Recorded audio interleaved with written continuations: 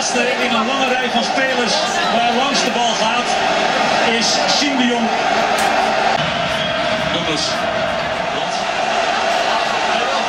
Oh, oh, oh, oh, oh, wat een drama.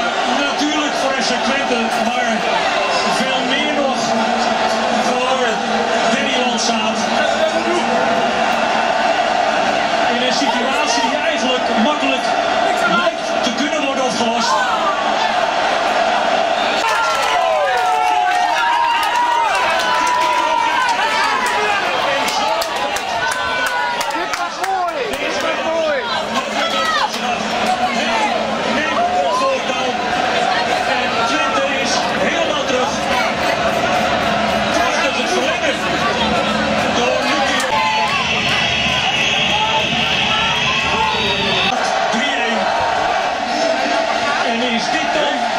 de dertigste landstitel voor Ajax?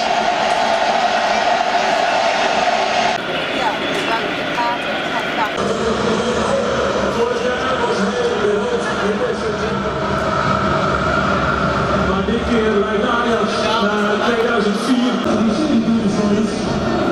Maar eerst dit. Bij Rami. Um, Douglas volle